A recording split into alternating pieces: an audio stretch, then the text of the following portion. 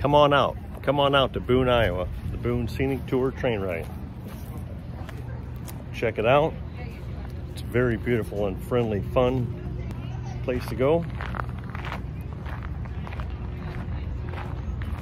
They have dinner dinner tours. They have a dessert tour. They have um, rail car. You can walk around. They also have pedal cars that you can rent as a group. Got two seaters and four seaters. The pedal cart trip takes about two hours, so it's not too long, but long enough to enjoy.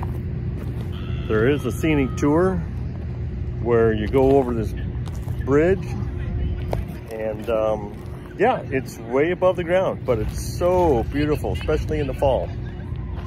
Come on out. Check it out.